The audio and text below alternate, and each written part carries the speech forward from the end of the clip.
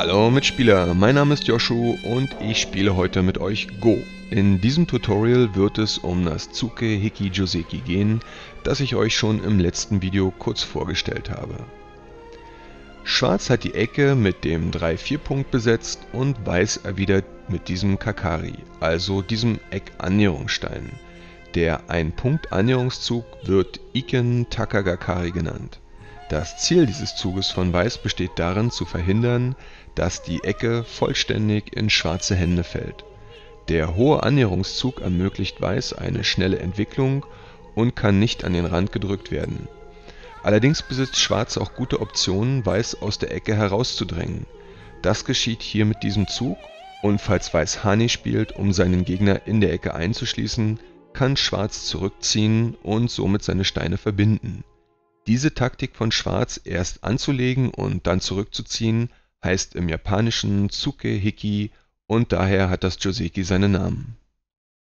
An diesem Punkt hat Weiß mehrere Möglichkeiten, von denen zwei die großen Standardvarianten dieses Josekis darstellen. Gerade für Go-Spieler, die sich zum ersten Mal mit diesem Joseki befassen, ist es wichtig, diese Standardvarianten und ihre Eigenheiten zu kennen. Beginnen wir mit der historisch älteren Variante Weiß spielt eine solide Verbindung, um zu verhindern, dass Schwarz an diesem Punkt schneidet. Schwarz dehnt sich am rechten Rand auf der dritten Linie aus und Weiß springt über drei Punkte entweder hierhin oder zu Punkt A auf der vierten Linie. Beide Züge sind Joseki. Für Schwarz ist es wichtig, nicht zu gierig zu sein, sondern sich mit der Ausdehnung über einen Punkt zu begnügen die Erfahrung zeigt, dass eine Ausdehnung bis Punkt B eine zu große Lücke hinterlassen würde, die später Probleme provozieren könnte, weil Invasionen für Weiß dann wesentlich leichter wären. Kehren wir zum Anfang der Sequenz zurück. An diesem Punkt kann Weiß statt der soliden Verbindung auch ein Tigermaul, also eine hängende Verbindung spielen. Schwarz spielt wieder am rechten Rand die Ein-Punkt-Ausdehnung. Mit dieser Form verfolgt Weiß ein wenig andere Ziele der Schwerpunkt liegt nicht so sehr auf der Festigkeit der Verbindung, als vielmehr auf dem Potenzial für schnelle, leichte Entwicklung. Weiß dehnt sich einen Punkt weiter aus als in der soliden Variante. Die Tigermoll-Variante ist moderner und wird häufiger gespielt, möglicherweise weil sich bei vielen Spielern der Eindruck entwickelt hat, mit der soliden Variante zu wenig Raum und Gebiet zu erobern. Hinzu kommt, dass auch die solide Variante nicht vor Invasionen sicher ist bei der modernen Variante gibt es allerdings einen Punkt, der die Position von Weiß besonders anfällig macht, und dieser Punkt ist A. Wenn Schwarz hier spielt und Weiß ignoriert diesen Zug, kann Schwarz ein Watari ausführen, also ein Manöver, bei dem seine Steine unter den Steinen des Gegners verbunden werden. In diesem Fall wird das möglich, weil Weiß nicht effektiv blocken kann. Sollte Weiß nämlich Hani spielen, setzt Schwarz einen Stein von Weiß ins Atari und nachdem Weiß verbunden hat, kann Schwarz den Hahnenstein fangen. Ich hatte im letzten Tutorial darauf hingewiesen, dass wir aus dem Joseki-Studium viele grundsätzliche Techniken und Manöver erlernen können, und dieser Zug von Schwarz ist ein Beispiel dafür, wie man in vielen Situationen unter den Steinen des Gegners hindurchschlüpfen kann. Nun kann man ja fragen, warum das ein Problem sein soll, denn schließlich braucht Weiß den schwarzen Zug nicht zu ignorieren sondern kann pflichtbewusst sofort das Watari-Manöver unterbinden. Dazu wählt er meist diesen Punkt. Das Problem ist aber, dass Schwarz nun die Möglichkeit hat (das kommt auf die umgebende Situation an) entweder am Rand A oder zum Zentrum hin B zu spielen. Für die Enthusiasten unter euch werden wir uns diese Varianten nachher noch einmal genauer anschauen, aber um erst einmal die Grundlagen zu besprechen, soll hier genügen den Schwachpunkt A im Hinterkopf zu behalten, der Schwarz eine Miai-Chance eröffnet, nämlich entweder nach rechts zu verbinden oder zur anderen Seite zu fliehen. Auch die solide Variante besitzt Schwächen, insbesondere wenn die Ausdehnung auf der vierten Linie gespielt wurde, zum Beispiel diesen Punkt. Wenn Schwarz hier spielt, droht das eine Verbindung über den Punkt A an. Sollte Weiß das verhindern, kann Schwarz ins Zentrum springen und möglicherweise die weißen Steine trennen aus diesem Grund verteidigt Weiß häufig mit diesem Zug. Schwarz kann die Situation jetzt verlassen, um später hierher zurückzukehren oder sofort verbinden. Fassen wir zusammen: Die historisch ältere Form ist stabil, aber wenig raumgreifend. Die moderne Form ist schnell und raumgreifend, besitzt aber den Schwachpunkt a. Wie sollen wir nun entscheiden, welche dieser Varianten wir anwenden? Einen Hinweis bietet die Frage, wie weit sich Weiß ausdehnen sollte, also bis zum Punkt A oder aber zum Punkt B. Je wichtiger und wertvoller eine weite Ausdehnung wird, desto eher sollte Weiß die moderne Variante spielen. Schauen wir uns dafür zwei Beispiele an. Im ersten Beispiel hat Weiß die Möglichkeit, einen schwarzen Kakari-Stein auf der linken Seite in die Zange zu nehmen und damit die für eine schwarze Basis nötige Mindestausdehnung von zwei Punkten zu unterbinden. Weiß spielt also die moderne Variante und der schwarze Stein kann nun keine Basis am Rand errichten. Sollte Weiß später dazu kommen, diesen Kozumizuke zu spielen, muss Schwarz flüchten, Weiß kann erneut drohen und Schwarz hat eine problematische laufende Gruppe, um die er sich kümmern muss Spielt Weiß hingegen die ältere Variante, erlaubt dies Schwarz eine Basisausdehnung auf den Punkt A. Wenn Weiß also später von der Ecke her spielt, kann Schwarz eine Basis errichten und hat keine größeren Schwierigkeiten in dem Gebiet zu erwarten. Im zweiten Beispiel gibt es ein schwarzes Shimari in der linken Ecke. Ausdehnungen von einem Shimari aus sind extrem wertvoll und ebenso wertvoll sind Ausdehnungen des Gegners, die das verhindern oder einschränken. Wenn Weiß die alte Variante spielt, erhält Schwarz die Möglichkeit zu einer Ausdehnung über drei Punkte von seinem Shimari aus. Weiß verteidigt und das Ergebnis ist jetzt sehr gut für Schwarz. Spielt Weiß hingegen die moderne Variante, dann kann sich Schwarz nur über zwei Punkte von seinem Shimari aus ausdehnen und dieses Ergebnis ist wesentlich besser für Weiß nicht immer ist es so wichtig, sich mit der modernen Variante weit auszubreiten, aber natürlich gibt es Gründe, weshalb diese Form häufiger gespielt wird als die ältere, solide Form. Wichtig ist an diesem Punkt vor allem die besonderen Merkmale der beiden Formen zu kennen. Wenn wir die moderne Variante spielen und die entsprechende Gruppe noch nicht mit dem Zug auf A verteidigt haben, dann steigt die Wahrscheinlichkeit einer Invasion des Gegners auf B.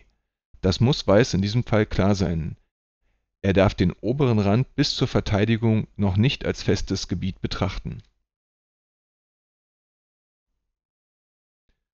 Schauen wir uns nun eine Variation an. Nachdem Schwarz zurückgezogen hat, könnte Weiß auch hier spielen. Solche als leicht bezeichneten Züge sind besonders dann angebracht, wenn man in einer vom Gegner dominierten Region des Brettes spielt. In diesem Fall versuchen wir nicht eine solide Basis aufzubauen, sondern setzen unsere Steine nur als Partisanen ein die die Operation des Gegners stören sollen. Wenn Schwarz hier beispielsweise schneidet, kann Weiß Atari spielen, Schwarz verlängert, Weiß ebenso und droht damit die schwarzen Steine mit einem Zug auf P15 zu fangen. Schwarz biegt um und Weiß sichert die Verbindung seiner Steine am oberen Rand. Auf diese Weise konnte Weiß lokal einen Erfolg erzielen und hat eine schwerfällige Entwicklung vermieden Betrachten wir ein Beispiel, wo sich ein Spieler für solch eine Taktik entscheiden könnte. Schwarz hat die chinesische Eröffnung gespielt und nun entwickelt sich ein Kampf in der unteren rechten Ecke. Statt das Tsukehiki Joseki in der soliden Variante oder in der Tigermoll-Form weiterzuspielen, setzt Weiß auf diesen Punkt. Was bezweckt er damit? Er spielt leicht, um seine Steine aus der umkämpften Zone zu extrahieren ein möglicher Fortgang der Sequenz wäre diese Folge von Zügen.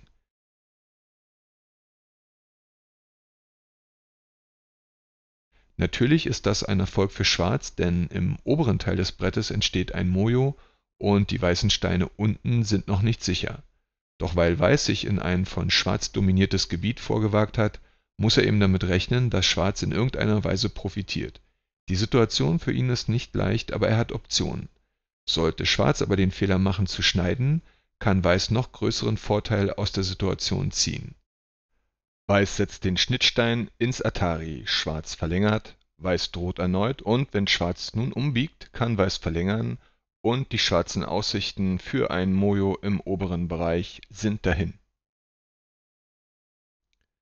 Die gleiche Spielidee finden wir hier Weiß kämpft in einer vom Gegner dominierten Sphäre. Er entschließt sich nicht für die solide Verbindung und auch nicht für das Tigermaul, sondern für eine Variante, die man als erweitertes Tigermaul bezeichnen kann. Wenn Schwarz nun sein Gebiet auf der rechten Seite sichert, kann Weiß mit diesem Zug die Grundlage für eine lebende Gruppe schaffen. Sollte Schwarz diesen Zug von Weiß ignorieren und woanders auf dem Brett spielen, kann Weiß mit diesem Satz einen großen Teil aus dem potenziellen Gebiet von Schwarz herausbeißen.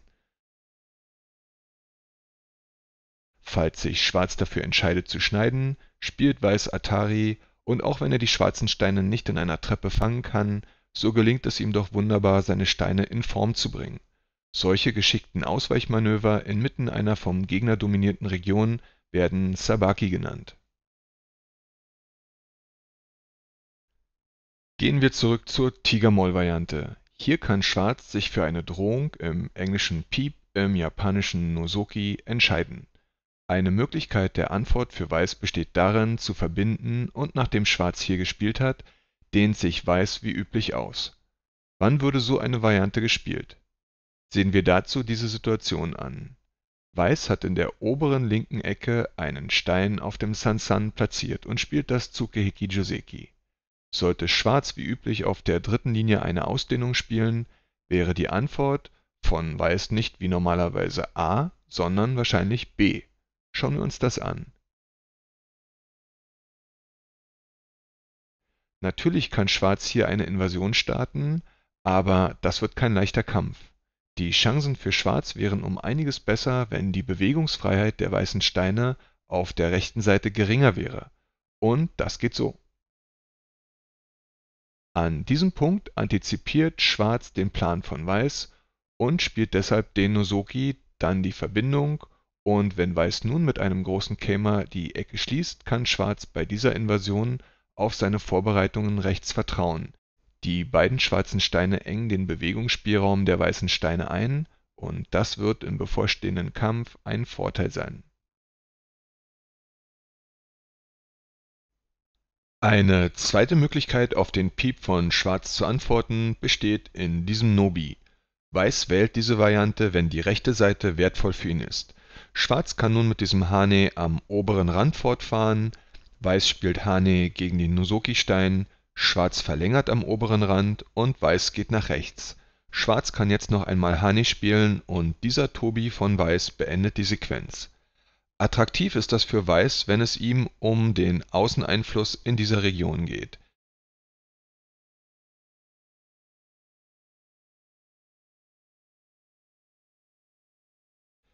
Nach dem schwarzen Hane wäre es ein Fehler von Weiß, den oberen Rand zu blocken. Schwarz würde einen weißen Stein ins Atari setzen und nach dem Verbinden von Weiß zwei weiße Steine fangen. Der Profit von Schwarz auf der rechten Seite wäre zu gut. Wir haben uns jetzt angeschaut, wie die Antwort von Weiß auf den schwarzen Nozoki in den Fällen A und B aussieht. Es gibt auch noch die Variante C die Weiß aber nur dann spielt, wenn die linke Seite wichtig für ihn ist und er dort entsprechende Vorkehrungen getroffen hat. Denn Schwarz erhält bei dieser Variante ein großes Stück Gebiet und Weiß muss sicher sein, dass er dafür auf der anderen Seite entschädigt wird Ihr seht die mächtige weiße Wand im Zentrum des Brettes. Das kann ein großer Vorteil sein, insbesondere weil Weiß die Sequenz als erster verlässt. Trotzdem will diese Entscheidung sehr sorgfältig bedacht sein, denn das schwarze Gebiet auf der rechten Seite ist beachtlich. Kehren wir zum Anfang des Josekis in der älteren Variante zurück. Wir hatten gesehen, dass sich Schwarz am rechten Rand ausbreitet Weiß könnte später einen wunderbaren Satz machen, der seinen Zentrumseinfluss erhöht. Schwarz kann das verhindern, allerdings zum Preis eines gewissen Risikos, das seine Ecke betrifft. Er kann nämlich statt des Tobi einen Kosumi auf A spielen und damit den weißen Sprung über zwei Punkte verhindern. Das sieht so aus: Nachdem Weiß verbunden hat, geht Schwarz hierhin. Weiß spielt seine Ausdehnung am oberen Rand die Situation ist nun folgende: Schwarz hat die Möglichkeit unterbunden, dass Weiß seinen Zwei-Punkt-Sprung nach A machen kann, denn vom Kosumi-Stein aus könnte Schwarz die weißen Steine trennen. Schwarz würde jetzt gern einen Kamer spielen, um ins Zentrum zu gelangen. Das Problem liegt aber darin, dass ein weißer Stein auf A zu einem gefährlichen Angriff werden könnte, weil es zu viele offene Schnittpunkte in der schwarzen Stellung gibt Deshalb wählt Schwarz häufig einen großen Keima entlang des rechten Randes als Fortsetzung, um seine Schwachpunkte zu verteidigen. Schon im letzten Tutorial habe ich euch die korrekte Reaktion auf diesen Zangenangriff von Schwarz gezeigt. Grundsätzlich ist es keine gute Idee von Schwarz, so dicht vor der weißen soliden Verbindung eine Zange zu spielen. Deshalb ist dieser Zug auch nicht Joseki. Weiß reagiert mit einem Zuke hier und nach dem schwarzen Hane bedroht er die Schnittpunkte in der Ecke. Deshalb sichert Schwarz, Weiß spielt Nobi am Rand und nach dem schwarzen Verlängerungszug springt er hierhin oder spielt auf A. Der dreieckmarkierte schwarze Stein steht jetzt zu dicht vor der weißen Stärke. Kehren wir zum Anfang des Tsukehiki Joseki zurück Häufig verlassen gerade stärkere Spieler nach dem schwarzen Verlängerungszug die lokale Situation, um Tempo zu gewinnen und fahren an einer anderen Stelle des Brettes fort. Daraus ergibt sich für Schwarz die Gelegenheit zu schneiden. Was passiert in diesem Fall? Weiß kann am oberen Rand verlängern. Wenn nun Schwarz ebenfalls verlängert, kann Weiß Hani spielen, vorausgesetzt die Treppe bei O15 würde für Weiß funktionieren. Wie geht es weiter? Falls Schwarz schneidet würde Weiß Atari spielen und nach dem schwarzen Nobi ebenfalls verlängern. Damit droht er zwei Treppen gleichzeitig, nämlich die auf A und auf B. Schwarz kann nicht gleichzeitig gegen beide verteidigen. Voraussetzung für diese Spielweise von Weiß ist jedoch wie gesagt, dass beim Start die Treppe auf A für Weiß läuft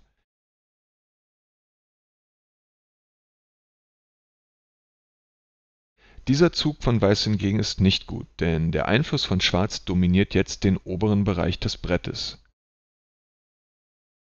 Läuft die Treppe hingegen nicht für Weiß, beispielsweise weil im Brettzentrum oder in der unteren linken Ecke schwarze Steine stehen, kann er nach dem schwarzen Verlängerungszug nicht Hani spielen, sondern muss seinerseits verlängern.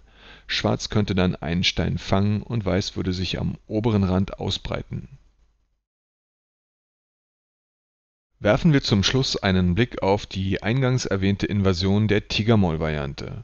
Wir sehen hier einen schwarzen Zug, der von Weiß normalerweise mit einem Verteidigungszug auf A beantwortet wird. Sollte Weiß nicht verteidigen, ist eine Invasion von Schwarz wahrscheinlich. Weiß verhindert die Verbindung der schwarzen Steine und falls Schwarz diesen Keima in Richtung Zentrum spielt, verlängert Weiß hier. Schwarz spielt Zuke, Weiß spielt Hane und Schwarz quetscht sich zwischen die beiden weißen Steine auf der zweiten Linie. Weiß spielt auf der ersten Linie, um seine Steine zu verbinden, Schwarz spielt dieses Atari. Weiß verbindet und nun verlängert Schwarz auf der Außenseite und droht so ein Atari gegen die beiden weißen Steine darunter. Weiß spielt Atari, Schwarz verbindet auf der Außenseite. Später kann Weiß auf A zielen und so drohen, drei schwarze Steine zu fangen Schauen wir uns eine fehlerhafte Reaktion von Weiß an. Mancher Spieler würde hier vielleicht intuitiv verlängern, aber das führt zu diesem Nobi von Schwarz und wenn Weiß nun von oben Hane spielt, droht Schwarz unten herum zu verbinden.